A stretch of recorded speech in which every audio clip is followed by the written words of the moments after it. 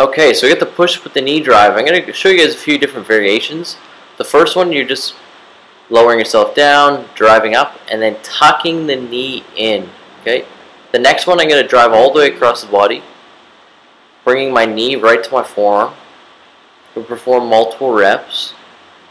Finally, I'm going to bring my foot right to the outside of my hand. And It's going to get a great lower body stretch.